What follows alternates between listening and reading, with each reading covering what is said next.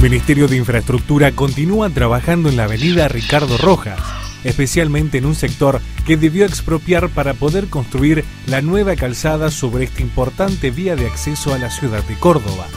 Ya se concretó la expropiación de cuatro viviendas y se está finalizando con la demolición para comenzar a liberar la traza y construir la nueva calzada entre las calles Tomás Garzón y Heriberto Martínez. El ministro de Infraestructura, Manuel Calvo, indicó que la obra tiene un avance de más del 80% y en noviembre estará terminada. A través de esta obra, la avenida Ricardo Rojas tendrá 9 metros de ancho por mano, con división de un cantero central o por las vías del ferrocarril y tres trochas de circulación, lo que otorgará mayor fluidez y seguridad al tránsito vehicular. Sigue a buen ritmo la construcción de viviendas en Sierras Chicas para familias que fueron afectadas por las inundaciones. Son 156 las casas que el gobierno de Córdoba está levantando en Villa Allende, Río Ceballos, Mendiolaza y Unquillo.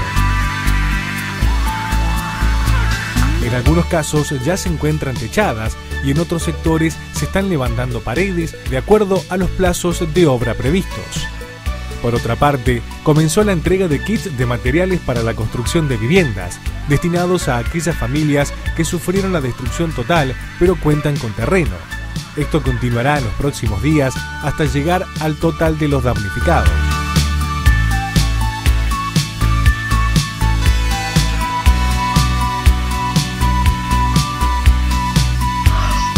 También, como producto de las inundaciones del verano, en Jesús María se está haciendo el calzado con terraplén de un muro de gaviones que construye el Ejecutivo local.